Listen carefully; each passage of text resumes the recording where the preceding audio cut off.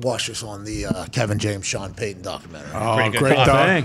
I seen the exact shot that I seen walking into the locker room on.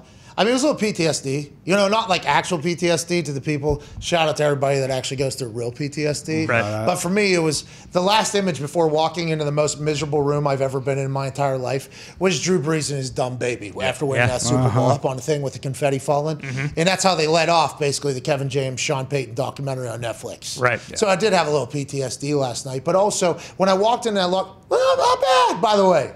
Not bad. Not huh? bad. Yeah, no, it was pretty good. That's not what you told me. No, yeah, I did. It was a nice deep dive into No, Sean that's Payton's not what life. you What you said. say? What I don't know what these two are talking about. What did This- Connor say? He said, you know, Yeah. he, he got about 10 minutes in, couldn't finish it. That's not true. couldn't finish it. That's not true. Shit. I That's said- not true. Steaming pile of shit. is Come what he on. said. That's not It's- true. It's a Happy Madison production, so it's not a steaming pile of shit. Bingo. Well, no, I agree. That's what Connor said. Well, it, I didn't say that. A lot watched of good six jokes. times already. There's a lot of good jokes. There's actually like pretty dialed in jokes too, like Yeah. good callbacks, subtle callbacks and stuff in there. I thought it was pretty high IQ writing, by the way. There was some stuff that was like, all right, A lot of hotel What? humor. Was Shaq in it? let's get out of here. A lot of hotel humor with the Yeah. check-in. Uh-huh. Oh my God, they missed. I've been there. They missed a couple. I Yeah. think that they should have added in there. There was a lot of good little moments though, where there was some great dry, gr- dry humor.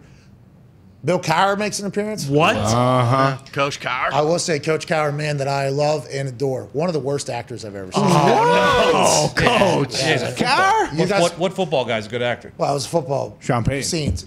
Sean Payton. He's in Great it too. actor. Whoa, whoa, whoa, whoa. We, we don't know about that. It might have been him. I don't know. They said maybe that was him. Cowher only knows how to be himself. Well, if this is, I mean, the way he was holding his phone.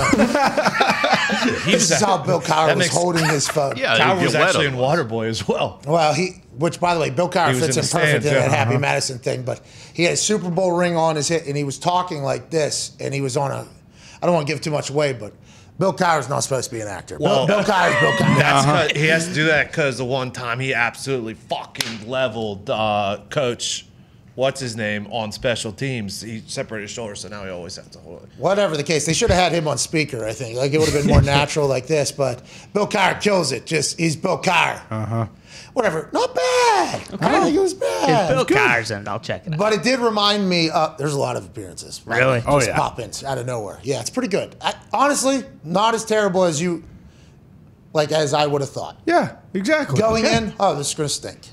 Okay. So I think that is where I was at. This is for kids. I thought Uh-huh. definitely is, but also not bad. Not bad. Yeah. Are Worth you a watch. surprised by how Sean Payton kind of let them depict him as like top five worst dad of all time? Or I mean, there were some situations that appears Sean Payton wasn't necessarily the greatest at, but anytime anybody goes into the Hall of Fame, you know what they say? Say thanks to my wife and my kids. I miss a lot. I am so sorry. That, that that was depicted in the movie. A little Yeah. bit. But it was a good coming of age tale there. I don't want to give away any spoilers. It's good. It's a good Yeah. movie. Right. great movie. Check Good it out. movie. I'll check it out. Anyways, they reminded me of the moment which I was a rookie and we just lost a Super Bowl to Drew Brees and his dumb baby. Mm-hmm. And I learned a lot about Drew Brees through that movie last night too. Sean Payton had a lot of, you know what Drew Brees does, you know what Drew Brees does, you know what Drew Brees does. So I learned a lot about Drew Brees through last night's as he was talking to these nine year olds, 10 year olds, whatever they were, the Warriors football team. But yeah.